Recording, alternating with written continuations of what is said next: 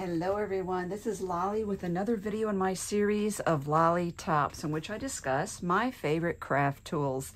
This time is going to be different because I'm going to discuss something that's not my favorite and something that I am choosing not to spend money on anymore, and that are the cheaper alternatives. I know you've seen the videos, uh, cheaper alternatives gets us all excited about saving money. I am deciding that I need to stop buying those things because they're not saving me money and they're giving me products that are useless. They don't perform as they are supposed to. So let's take a look at what I'm talking about. Um, when you're looking at getting a knockoff tool or knockoff craft supply, you're looking at something that is created uh, more affordably. So they might take another company's good design and then make it more cheap. So the problem with that is they can be poorly made, poorly constructed. So this is a, a, good example I've mentioned several times, the Gyro Cut tool. This is the Gyro Cut Pro, which has a different tip on it. But anyway, there are companies selling a cheaper knockoff to this brand. And so, and the plastic is probably cheaper too. They have to use cheaper quality materials in order to make it more affordable. But the worst part is that the metal itself, the metal blade that's under this tip, is made of a different material that doesn't cut as well, and the blade is not as honed or ground to the right degree. And like in the gyro tool, gyro cut, that has two bearings in here, it makes a big difference as to whether or not you can actually cut well with it. So getting the cheaper alternative in this case means you're getting something less quality and that doesn't function well. This is the Tonic Studios Tim Holtz paper piercing tool, also known as an awl, or in the crafty world, we call it the, the pokey tool. This is the one from Dollar Store. This retracts. It's a nice, sturdy tool. This is super cheap, super uber lightweight plastic, and I have had this bend on me when I was trying to use it. So this has been a waste of my money. I would never do that again.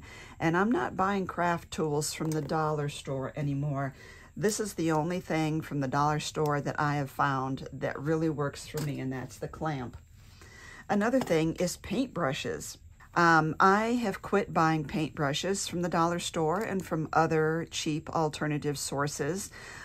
I am not a painter, but I have found that when I'm when I'm doing mixed media or Mod Podge or anything, I'm finding that the, the bristles, the hairs are falling out of my brush into my project and I'm having to dig them out. It's also giving me streaks and it's clumpy and it's not spreading well. And I think I'm really bad at doing my project until I realized that the brush is also a poor quality. So I went to Jerry's Artorama.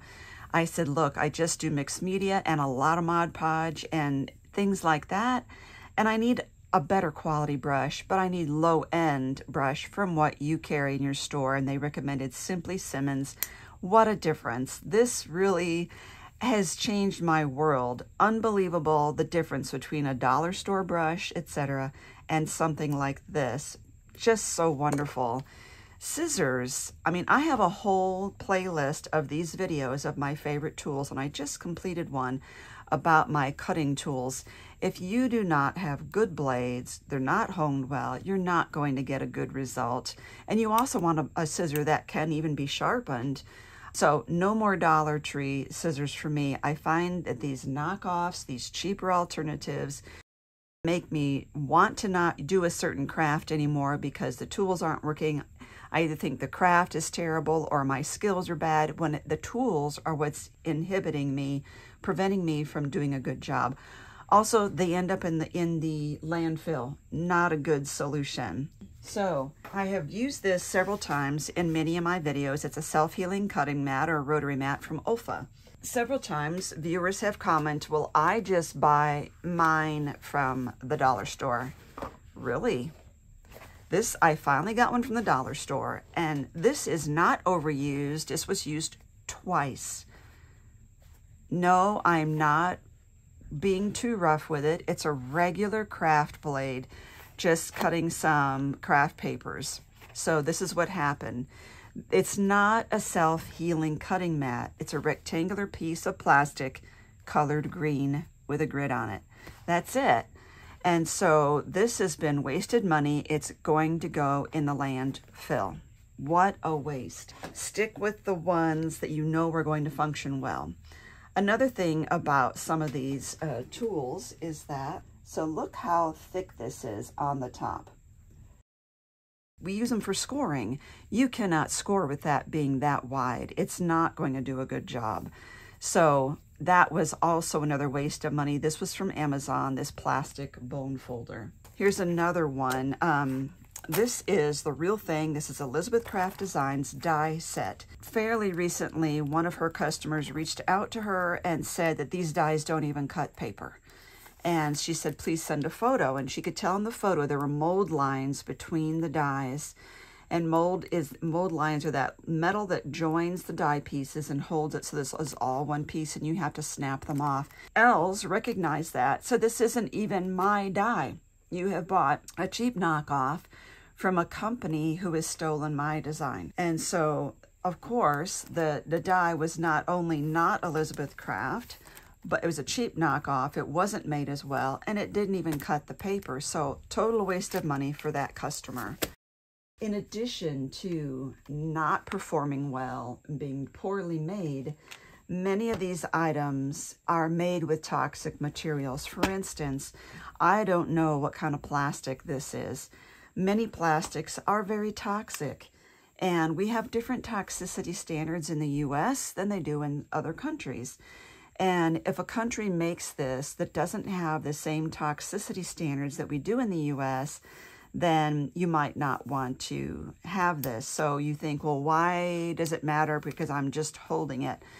It could matter, like for me, bad habit I know I'm trying to break, but if my hands are both full doing something, I might put this temporarily in my mouth to hold it while I'm doing something else or put my paintbrush in my mouth. I don't want that in my mouth. Also, if it's toxic uh, materials, I don't want to put this in the landfill.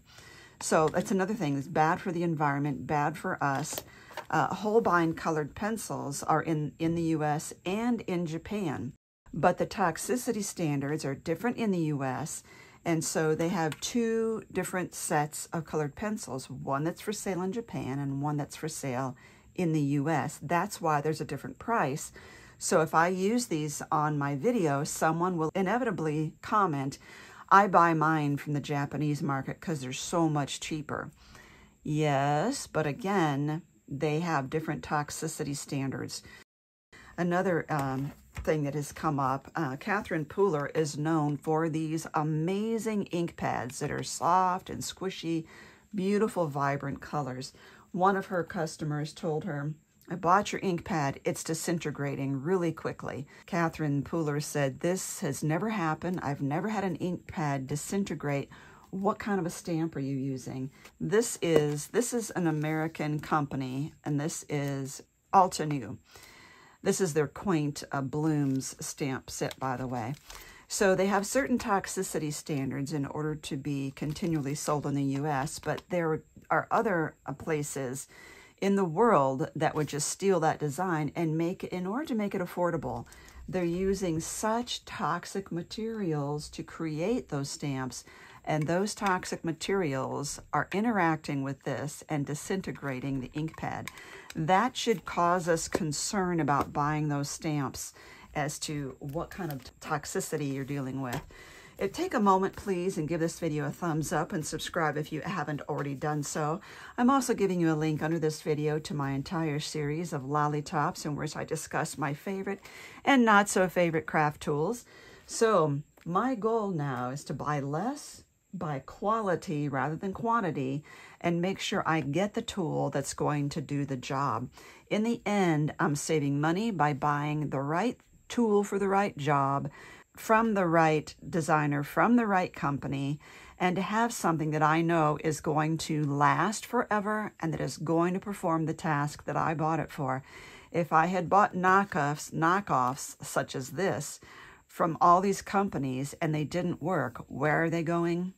In the landfill. So let's please be more mindful of those things and save ourselves some grief by purchasing the best tool for the job. Thank you for watching.